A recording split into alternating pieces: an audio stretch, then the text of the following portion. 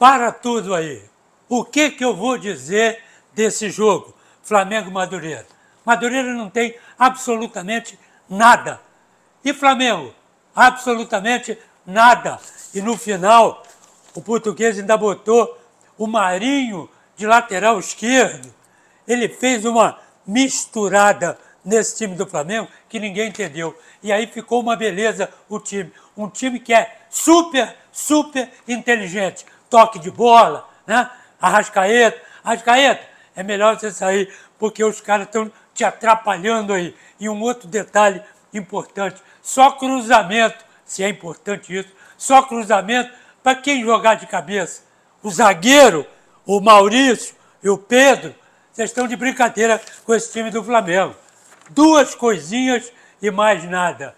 Olha aqui, tudo bem, está no início, mas